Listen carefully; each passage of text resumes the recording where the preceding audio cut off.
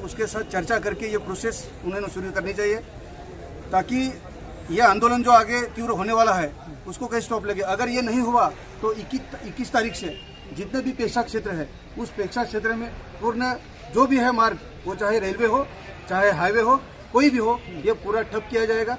सिर्फ़ हेल्थ छोड़ के मतलब आरोग्य छोड़ के सब सेक्टर बंद किए जाएँगे। क्यों? हमारे भी, हमारे आदिवासियों का भी इस देश के लिए कुछ योगदान है। हमारा भी इतिहास है। और आज हमारे ऊपर ही ये सब जान के जाते हो रही है। ये हम अभी सहेंगे नहीं।